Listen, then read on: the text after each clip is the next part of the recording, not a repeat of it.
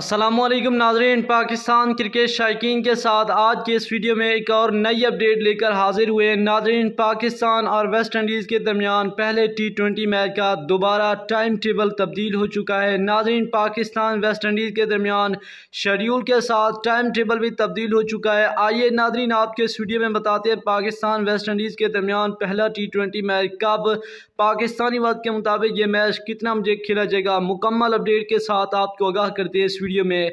इससे पहले अगर आपने अभी तक हमारी वीडियो को लाइक नहीं किया तो वीडियो को लाइक कर दें। चैनल पर पहली मरतबा विज़िट करें तो चैनल को सब्सक्राइब करके साथ लगे बेल आइकन को भी प्रेस कर दें, ताकि आपको क्रिकेट के हवाले से तमाम तरह अपडेट्स वक्त पर मिलती रहें। तो नाजरीन, आपने नीचे कमेंट सेक्शन में ये ज़रूर कमेंट करके बताना, क्या पाकिस्तान टीम वेस्ट इंडीज़ से पहला टी ट्वेंटी मैच जीत पाएगा या नहीं? तो नाजरीन, आपके साथ एक बात और भी शेयर करते चलें। मेरा एक क्रिकेट फ़ैन है, जिसने मुझे कमेंट किया कि, यार, मैं आपकी रोज़ाना की बुनियाद पर वीडियोस देखता हूँ। आप मेरा वीडियो में नाम ज़रूर लेना। नादरीन उस फ़ैन का नाम है लियाकत डार।